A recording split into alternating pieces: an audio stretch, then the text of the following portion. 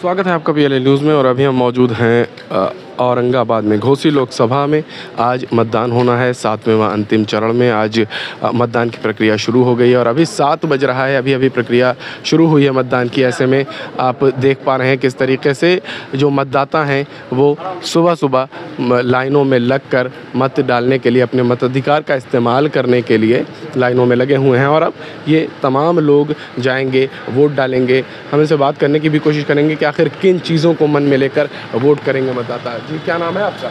ऐनुल हुदा।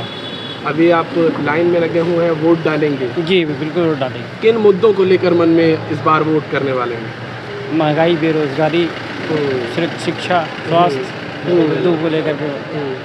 तो देखिए लोकतंत्र के जो जागरूक नागरिक हैं वो हैं जो लाइनों में लगते हैं इंतज़ार करते हैं और फिर वोट डालते हैं। क्या नाम है बाबू? हसान वोट डालने के लिए आप लाइन में लगे जी।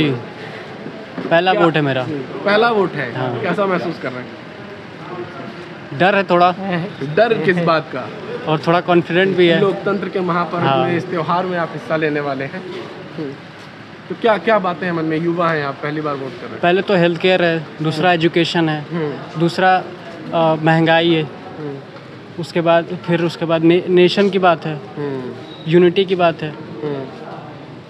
बहुत अच्छे। आपका क्या नाम? है जी मोहम्मद सालिम। वोट डालने के लिए आए हुए हैं अभी?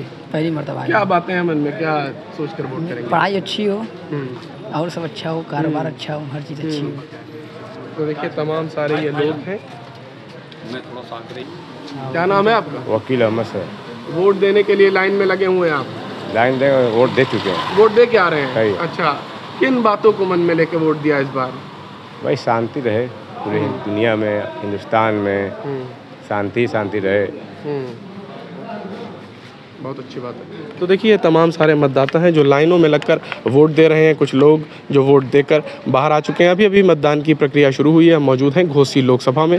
अब हम अन्य बूथों पर भी जाएँगे और देखेंगे क्या, किस तरीके की स्थिति और किस तरीके से जो मतदाता हैं, वो अपने मताधिकार का इस्तेमाल कर रहे हैं। और ज़ाहिर सी बात है, समाज के ये जागरूक लोग हैं और अपनी जिम्मेदारियों का निर्वहन कर रहे हैं।